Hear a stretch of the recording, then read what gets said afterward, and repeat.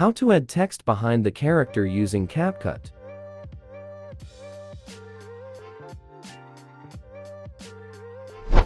Open CapCut and create a duplicate of your video. Then, go to the cutout section and select Auto Cutout to remove the character's background.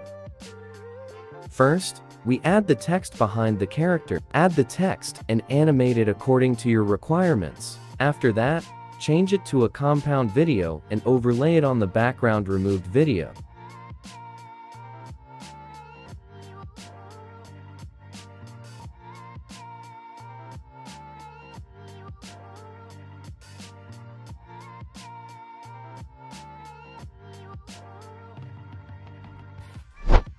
After that, we also add a green screen element behind the character. This video is also placed next to the text compound video.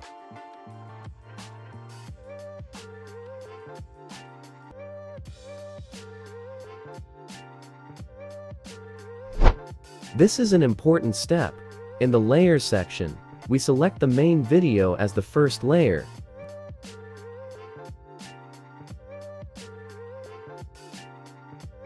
The element videos or text compound videos as the second layer.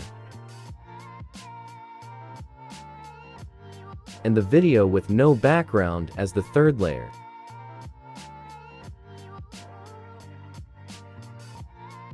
I hope you all like this video, and don't forget to check out the CapCut library for more CapCut tutorials.